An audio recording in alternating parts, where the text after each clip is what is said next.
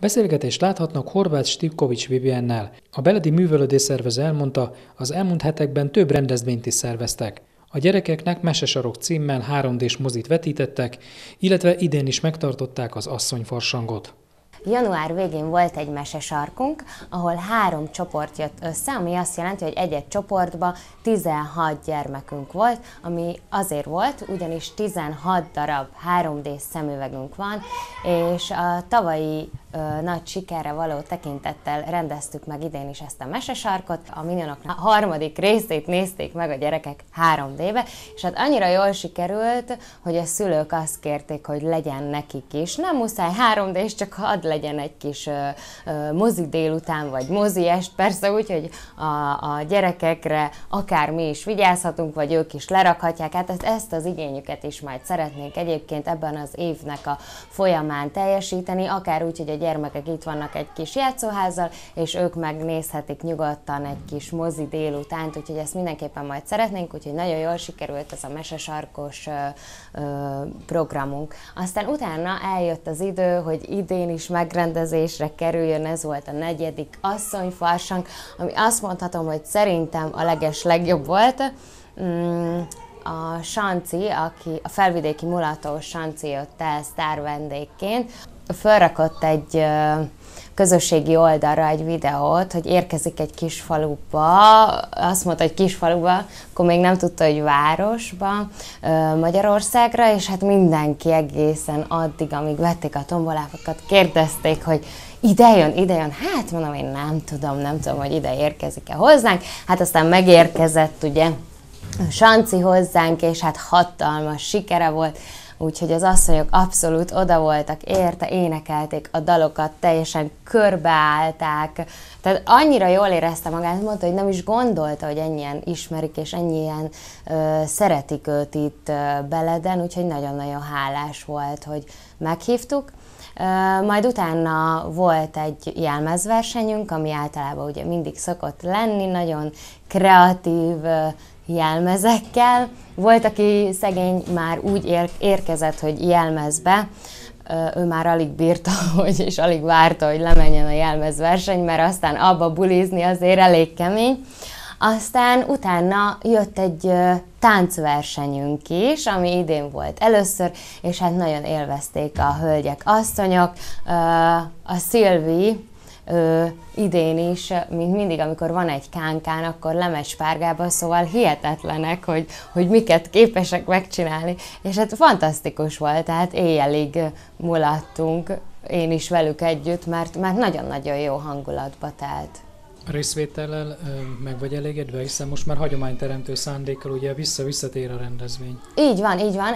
Megmondom őszintén, hogy megvan az a réteg, meg az a kemény mag, ha mondhatom így, akik minden éve jönnek. Nyilván van egy-két ember, aki, aki újabb. Például nagyon-nagyon örültem, hogy a nyugdíjas klubból most idén jöttek a, a nénik, és itt voltak, és velük együtt bulizhattunk, úgyhogy, és ők is nagyon élveztek, és azt mondták, hogy jövőre is fognak jönni. Ugye az időjárás nem igazán mutatja, de ugye napokon belül itt van március, és ugye készülünk el az 1848-49-es forradalmi szabadságharc egy kerek évfordulójára, hiszen 170 évvel ezelőtt volt ez a történelmi esemény. Hát hogyan készül beled erre a jeles évfordulóra? Hát úgy készülünk most már rá, hogy a hetedikes osztályosok fognak idén is műsort adni, és ők már nagyba készülnek a felkészítő tanáraikkal, illetve március 14-én fél egy egykor fog kezdődni nálunk a rendezvény a Beledi Tornacsarnokban, és kaptunk egy e-mailt, mi szerint, hogyha szeretnénk igénybe venni, akkor jönnének katonák is, és mi ezt igénybe is fogjuk venni, úgyhogy úgy gondoltuk, hogy a katonák már ide fognak jönni a tornacsarnokba, és ők fognak elkísérni minket az emlékműhöz, ahol fognak majd díszelegni, és ez alatt majd megtörténik a koszorúzás. Szerintem ez ennek ezáltal egy szép kerete lesz az egész műsorunknak, azon kívül, hogy a gyerekek is biztosan nagyon színvonalas műsort fognak adni.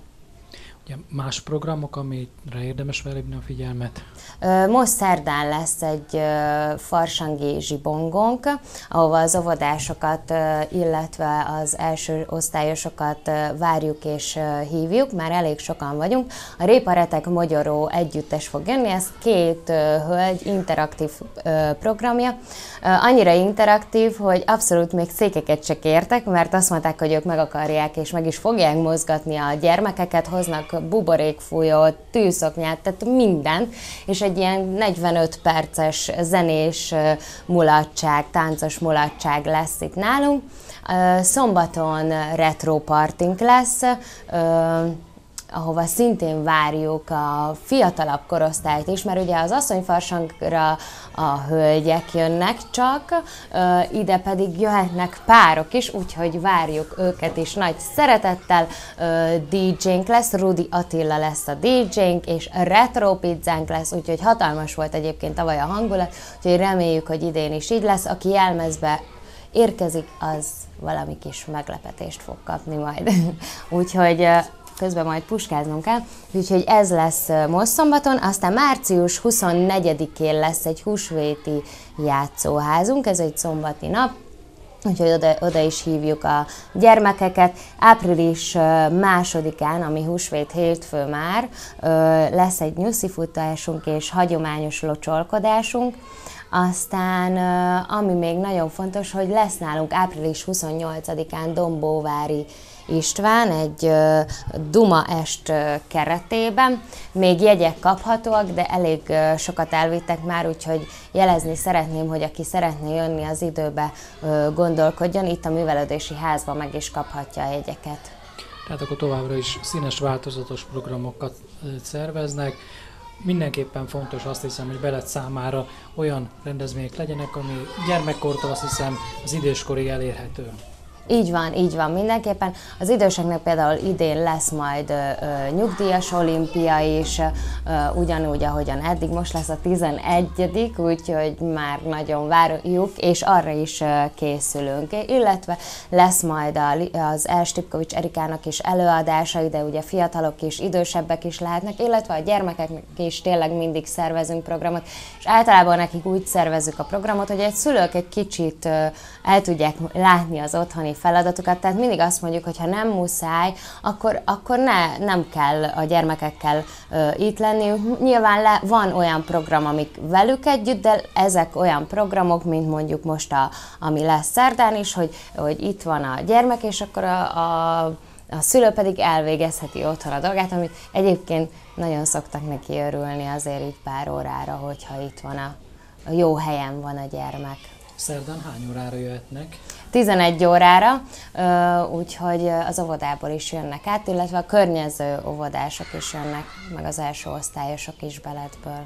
Szakkörökön van-e változás, vagy hasonló módon, ahogyan az elmúlt időszakban zajlott, be van osztva a hét itt a Berendi Művelődési Központban? Abszolút be van osztva, minden nap van valamilyen szakkör, vagy néptánc. Hát azt kell, hogy mondjam, hogy hogy ezt az időszakot vártuk, hogy újra elkezdődjön. Tehát nyáron is, én legalábbis a nyár végén azt várom, hogy újra jöjjenek a gyerekek, meg a, a nyugdíjasok ide hozzánk, és ilyenkor is, mert ugye januárban ők nem pontosan akkor kezdenek, mint mi, és ilyenkor lehet közben a nézők is már hallják, hogy éppen a néptáncos gyermekek is megérkeztek. Annyi változás van egyébként, hogy a nyugdíjas, ezüstfenyő nyugdíjas klub most pár taggal bővült, aminek nagyon-nagyon örültünk, és el kell, hogy mondjam, hogy a hímzők is, az ügyes kezesek is